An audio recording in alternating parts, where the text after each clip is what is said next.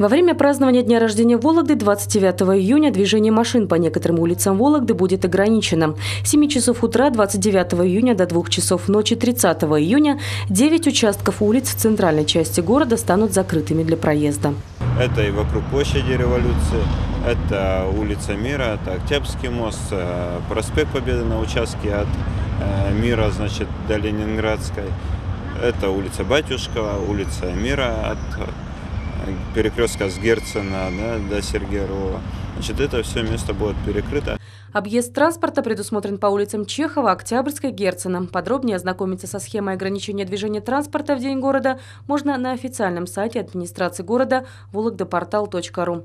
Там уже можно узнать пути объезда и места возможной стоянки транспорта.